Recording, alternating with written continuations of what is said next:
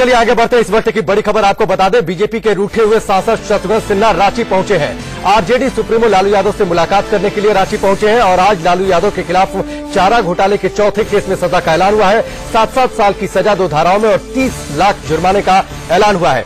सिन्हा के साथ समाजवादी पार्टी के पूर्व सांसद किरणमय नंदा भी हैं और समाजवादी योजन सभा के राष्ट्रीय अध्यक्ष विकास यादव भी उनके साथ मौजूद हैं।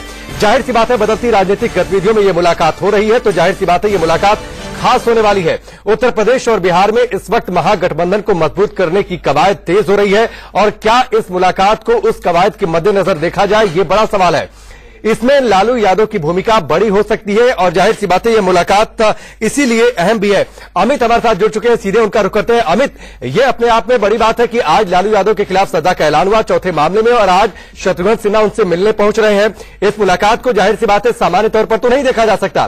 क्या इसे महागठबंधन की दिशा में उसको मज़बूत करने की कवायद के तौर पर देखा जाए?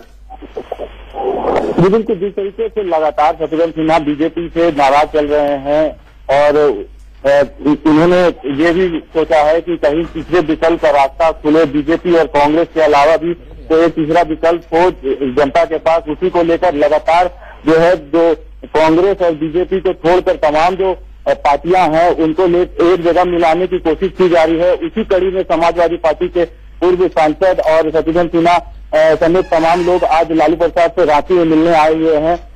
लालू प्रसाद हालाँकि रिम्स में एडमिट है और उनका तबियत जो है वो अ, काफ़ी खराब है शुगर ब्लड प्रेशर तो ये मुलाकात रिम्स में होगी? संबंधित- जी बिल्कुल रिम्स में अभी तो लालू यादव को रिम्स में ही रखा गया है और जिस तरीके से डॉक्टरों ने कहा है कि लालू यादव का तबियत में अभी कुछ खास सुधार नहीं आया है और उन्हें रिम्स में ही रहना होगा या फिर इससे उच्च अस्पताल में जाना होगा तो इसको लेकर लगातार लालू यादव रिम्स में ही है और जो शत्रुघ्न सिन्हा के साथ तमाम लोग जो है वो रिम्स में ही जाकर उनसे मुलाकात करेंगे जी जी, चलिए अमित, फ़िलहाल हमसे जुड़ने के लिए, बातचीत के लिए बहुत बहुत शुक्रिया। ज़ाहिर सी बात है रिम्स रहे शत्रुघ्न सिन्हा, हालचाल जानेंगे, तबियत का हाल जानेंगे, लेकिन बदलती राजनीतिक परिस्थितियों में ये मुलाकात खास होने वाली है सियासत के लिहाज से।